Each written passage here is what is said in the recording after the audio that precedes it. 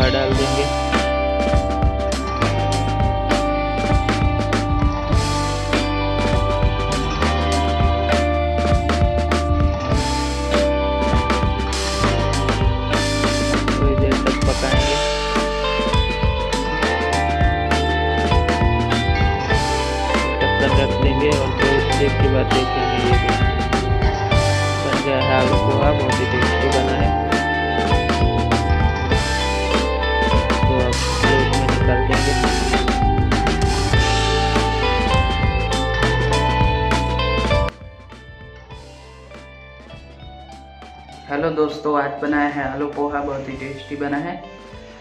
अब हम टेस्ट करेंगे। पहले आप टेस्ट कीजिए, अब मैं टेस्ट करूँगा।